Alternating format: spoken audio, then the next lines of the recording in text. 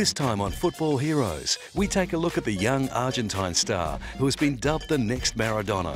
We follow his career from club football to international stardom.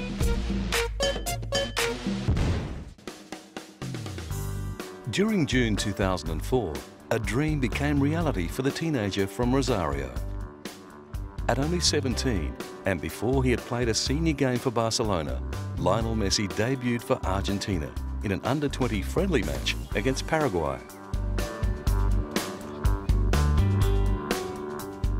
In 2005, he led Argentina's under-20 side to victory in the FIFA World Youth Championship. Here, Messi showed his talents to the world and dominated the competition, scoring six times to claim the Golden Boot as well as the Golden Ball for Best Player. Thanks to this brilliant performance, Messi made his debut for Argentina on August 17, 2005.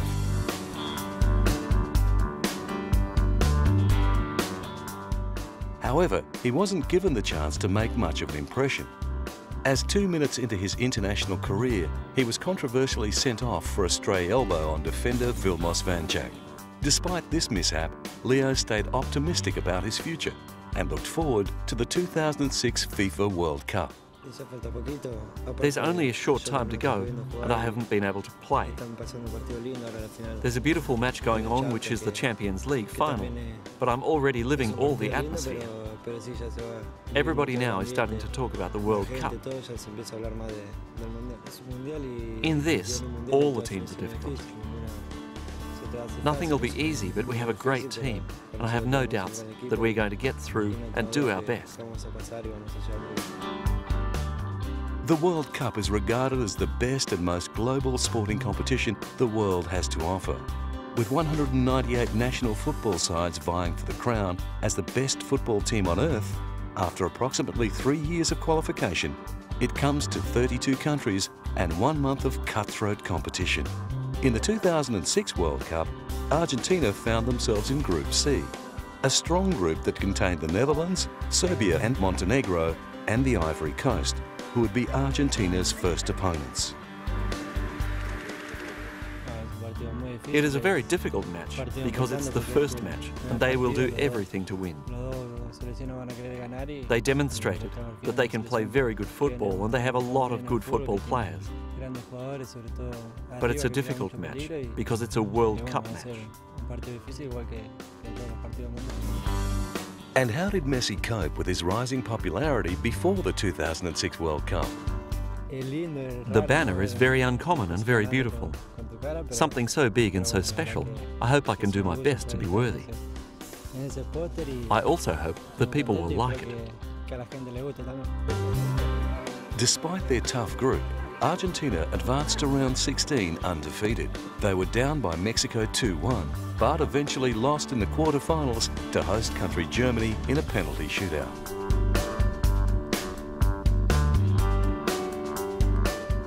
Another chance for Messi to find worldwide acclaim was the Summer Olympics, where he wanted to represent Argentina. However, FC Barcelona refused to let Messi leave mid-season, and a court of arbitration found that Barcelona were well within their rights to hold on to the talented midfielder. The CAS panel, composed of three arbitrators, found that Schalke, Werder Bremen and Barcelona had no legal obligation to release the players for the Olympic tournament, the players Rafinha, Diego and Messi.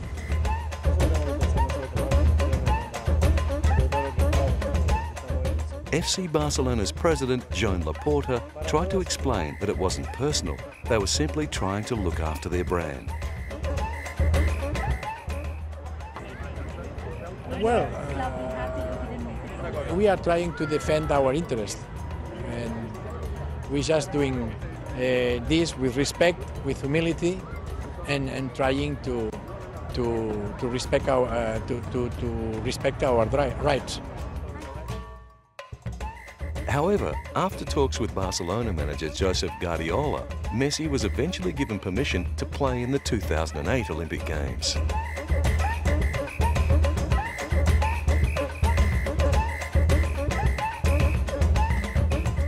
After facing his World Cup rivals, the Ivory Coast and the Netherlands, Messi's Argentina then faced Ronaldinho's Brazil in the semi-final. But Messi's combination of speed and elusiveness proved too difficult for Brazil to match, and Argentina advanced to the final. In the gold medal match, Messi's talent once again shone through. His expertly timed pass found Di María in the 58th minute. Di María scored and won Argentina the gold, 1-0 against a competitive Nigeria.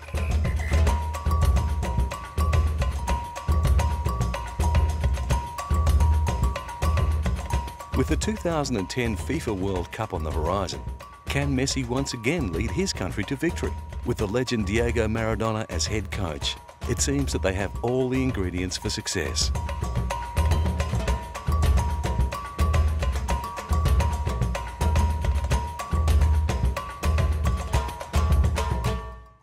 Thus far in his international career, Messi has appeared 38 times for his country, scoring 12 times, including a double against Algeria in 2007.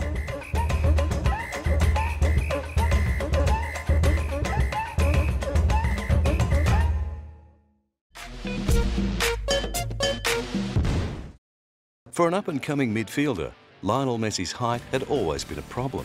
But the diagnosis of a growth hormone deficiency could have been a blessing in disguise. The deficiency forced him to move to Europe, where he caught the eye of one of the greatest clubs in the world years earlier than he otherwise might have.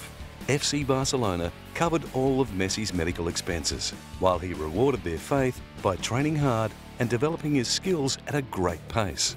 Football great Sir Bobby Charlton recognised this. Of Argentina, you know, but when you get a special one like Messi, who, who people talk about and they say, the, the, the, the, they have so much expectation when people go to watch them.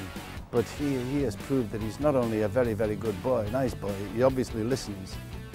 He became the third youngest player ever to play for Barcelona when he made his debut on October 16, 2004 against RCD Espanyol. He was only 17 years and 114 days. However, Messi wasn't just content to play in Barca's first side, he wanted to contribute.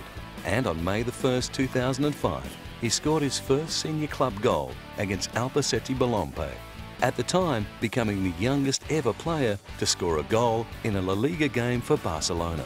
In the upcoming seasons, Messi's star continued to rise. In the 2005-2006 season, he found the back of the net on six occasions in 17 league appearances. Unfortunately, his year ended prematurely as he suffered a muscle tear in his right thigh. The following season, Messi returned and continued to excite fans and dazzle opponents with his electric pace and gravity-defying ball control. His game had come so far that many believed he had surpassed teammate Ronaldinho as the best player in the world. For me, Leo Messi is the best player in the world right now. We could talk about Leo the entire news conference, but I think Leo's a phenomenon. Comparisons were drawn between Messi and the legendary Maradona after Messi continued scoring goals at will, including becoming the first player in over a decade to score a hat-trick in El Clasico. After the exciting winger matched Maradona's goal of the century against Getafe during a Copa del Rey semi-final, it seemed the comparison was justified. The young Argentine was quickly dubbed Messadona by the Spanish press. In his short career at Barcelona, Messi had appeared a total of 161 times and found the back of the net on 80 occasions. His record of a goal every two games is the same for European and Cup competitions. Since Messi arrived at the club, Barcelona have been La Liga champions three out of five seasons as well as winning the UEFA Champions League twice. FC Barcelona has a long history of success, winning La Liga on 19 occasions. This brilliant record is only outdone by their rivals Real Madrid, who have amassed 31 La Liga championships. The FC Barcelona and Real Madrid rivalry is one of the fiercest rivalries in world sport. Their unrelenting competition against each other comes to a head at El Clasico, where the two sides meet twice yearly. Messi single-handedly kept Barca in El Clasico during the 2006-2007 season, when his hat-trick salvaged a game. His two goals against Real Madrid in 2009 saw Barca win 6-2 at Santiago Bernabeu. With this being the heaviest defeat for the Whites since the 1930s, Leo Messi remains FC Barcelona's greatest weapon against the old foe.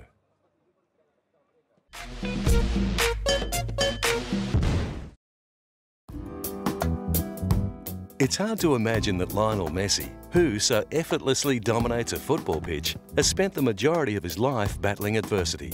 Born on June 24, 1987, in the humble neighbourhood of Rosario, around 240 kilometres northwest of Buenos Aires, the young football prodigy loved the game from the very beginning. He spent his time playing football, but always with his companions, always surrounded by friends.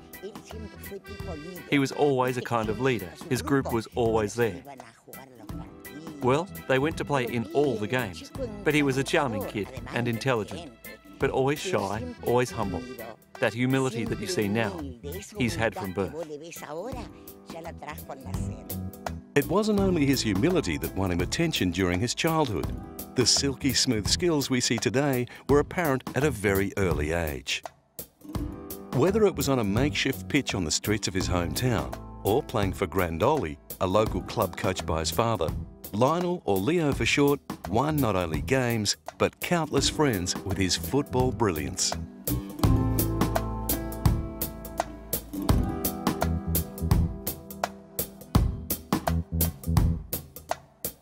Even one of Messi's primary school teachers remembered his astonishing talent and fondly recalls a boy who lived for the bell and dreamed of football fame. He was a football ace from very young because the only thing that interested him was the bell, and that bell we had here in the patio, so that he could leave for the makeshift football pitch and play football. And everyone else behind him, because they all realised that he was playing very well. They all wanted to be on his team because they knew he would win. After playing only a few seasons with Grandoli, Messi joined the junior ranks of Newell's Old Boys at the tender age of eight.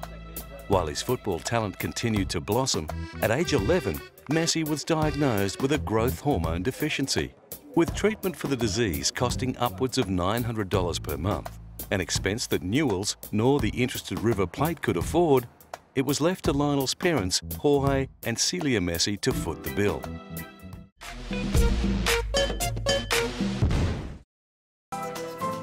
Argentinians are passionate football fans. Players who lead their country to success on the pitch are treated not only as legends, but as gods back home. And Diego Maradona is the ultimate Argentinian football god. With figurines and statues erected in his honour, and devoted fans following his every move, the now retired attacking midfielder is the most popular celebrity in all of Argentina. Despite battling drug addiction, weight issues and facing death on numerous occasions, his popularity and legend only continues to grow. The Maradona story gathered momentum in the 1986 FIFA World Cup. Although he was already marked as a brilliant player, it was during this tournament that Maradona caught the imagination of his fellow countrymen and brought home the World Cup trophy for the second time in a decade. Recognised as the FIFA Player of the Century, an award he shares with Pele, there are many parallels between Maradona's game and the game of Lionel Messi. They are both short in stature, both having a blistering turn of speed, and both have the ability to tear apart a defence with swashbuckling evasive skills. Recognising the similarities, Maradona was keen to let fans know that Messi still had areas to improve on. But Messi still has many miles to go. I think he would be having only 10 years to improve his life. And it would be having a lot of time to improve. And I think he would be doing great in 2010. And I think he'd be doing like me.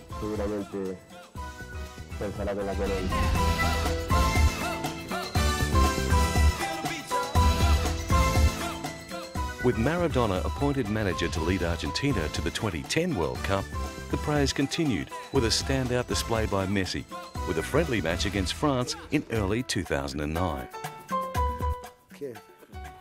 He played fantastic. It's like the ball is an extension of his body.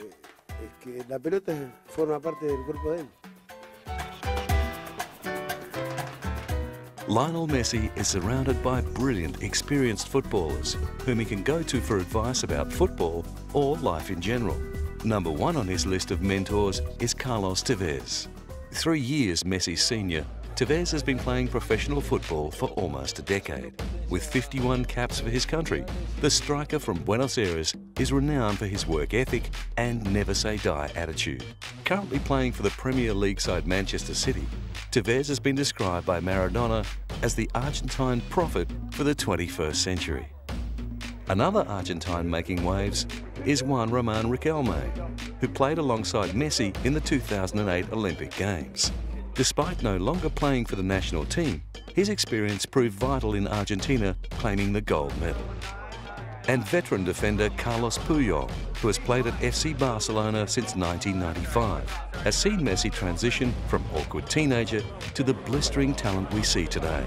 Now in his 30s, Puyol, who is current captain with over 300 appearances for Barcelona, is the perfect mentor for Messi.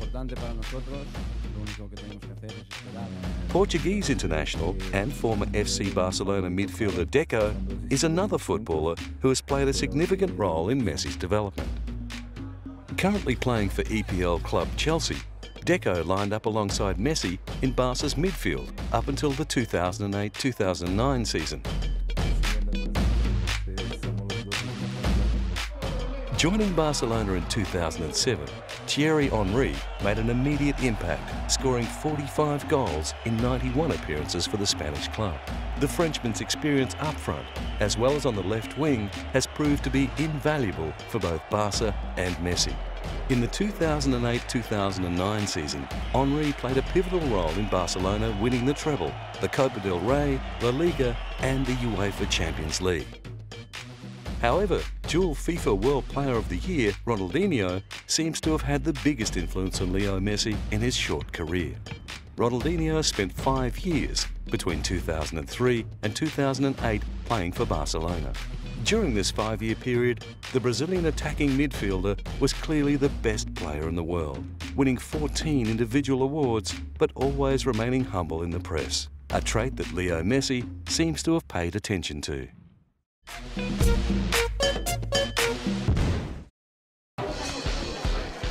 With comparisons to Maradona and clubs all over the world desperate to have Lionel Messi playing in their midfield, it was only a matter of time before the struggles of Rosario were a distant memory and Messi became one of the highest paid players in football. On August 7, 2009, Messi accepted a contract with FC Barcelona that saw him become the highest paid player at the club overtaking Swedish striker Zlatan Ibrahimovic. His new yearly income of 28.6 million euros can be broken down into three major segments. Salary, bonuses and sponsorships. Messi has two major sponsors which contribute around 20 million euros per year to his bank balance, Adidas and Pepsi. Adidas have been renowned for sponsoring football stars and creating clever marketing campaigns to promote not only their products but also the footballers. A famous footballer wearing Adidas clothing, especially Adidas football boots, can create millions of dollars in revenue for the sports company each year.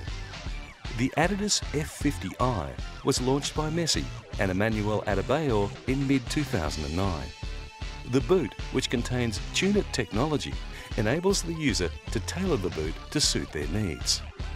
With their endorsements of the fashionable footwear, the new boots are likely to fly off the shelves. Pepsi, Messi's other major sponsor, have also included him in numerous advertising campaigns. In 2007, Messi went on a promotional tour of several major cities in China to promote a limited edition range of Messi Pepsi cans. Armies of fans greeted Messi in every city during his whirlwind tour of China. 3,000 lucky competition winners were given the chance of taking part in Pepsi's activities alongside their hero. As always, he was more than happy to demonstrate a few tricks for the adoring crowd. But the remaining 8.6 million euros comes from FC Barcelona.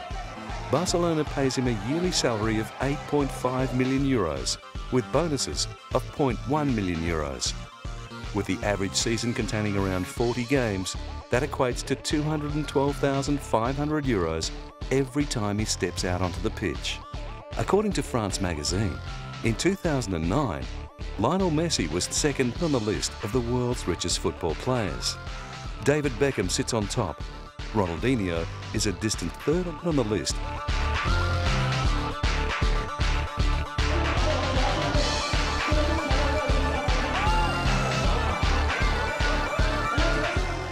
With the majority of the modern day footballers' income coming from sponsors, image is everything. No longer does a player rely solely on playing ability, but also reputation and marketability. Lucky for Leo, he ticks all the boxes.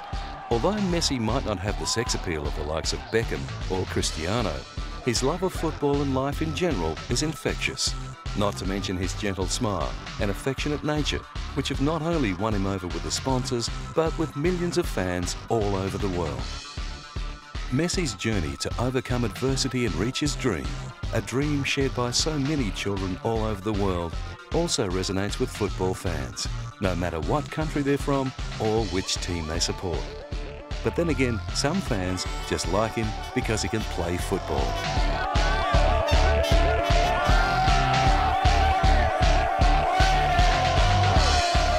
Messi's a new star, you know, get rising. So what makes him so good? I mean, what makes him so popular? Uh, it's, so it's so quick, you know, and uh, his skill is really good. Yeah, so you can you can you can see he's like a knife uh, through the, the field. It's really good. In his short career thus far, Leo Messi has won more awards than most footballers win in their entire career. With a trophy room resembling an Egyptian king's tomb, Messi has received 23 individual honours since 2004. These include three World Soccer Young Player of the Year awards, UEFA Champions League top scorer, and the FIFA Team of the Year in 2007-2008. Whilst playing for FC Barcelona, he has won nine titles, including three La Liga championships and two UEFA Championships League.